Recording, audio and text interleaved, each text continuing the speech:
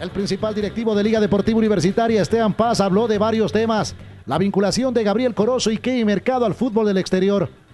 Eh, ellos van a partir de, de julio del 2014 eh, por una transacción por el 25% de sus derechos eh, económicos, manteniendo en Liga el 75% de los derechos económicos, pero con una transferencia de los derechos federativos por cinco años. La situación contractual de Luis Aritama la contratación del mediapunta argentino Diego Cachete Morales. Señor Diego Morales, con un gran suceso en, en, Argentina, en Tigre, donde lo estuvimos siguiendo, donde lo quisimos ya incorporar hace algunos años atrás, pero por ese, en ese momento sus condiciones económicas eran imposibles para Liga.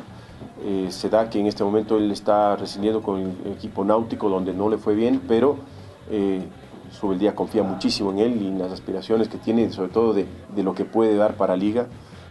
Liga Deportiva Universitaria buscará incorporar al club a dos jugadores extranjeros, un defensa central y un delantero.